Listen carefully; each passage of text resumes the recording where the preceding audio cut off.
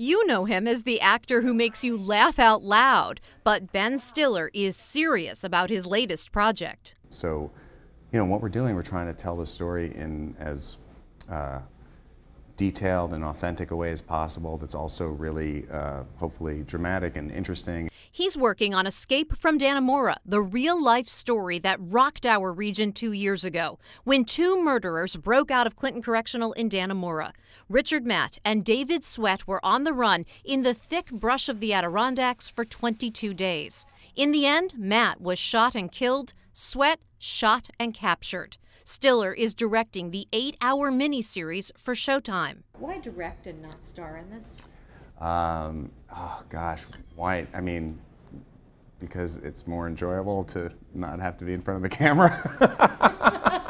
Stiller may be a fan favorite for comedy, but he has no problem giving up the spotlight. I love directing. I, I, since I was 10 years old, I wanted to be a director. He's directed movies before, but usually does double duty. Over the years, most of the movies I've directed, except for Cable Guy, I was in, and uh, it's it's just not, it's just hard to do both and ever feel like you're doing both jobs as well as you want to. And he wants this eight-hour miniseries to be on point. For me, I look at it like an eight-hour movie.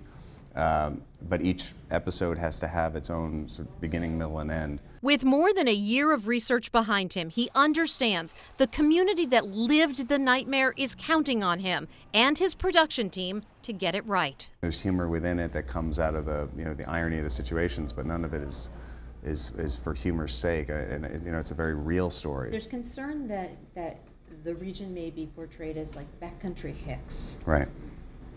How do you respond to that? Um, I, I, hope it's not. You know, it's my intention not to portray it in, in any way other than uh, you know the reality of what, what's here. And I, I've, I've loved coming up here. I've really enjoyed it. I've found everybody incredibly friendly, and so I want it to be a good experience for people and uh, try to be respectful of the fact that people are opening up to us and allowing us to to film here. So, will you see him at all in Escape from Dannemora? A cameo, perhaps?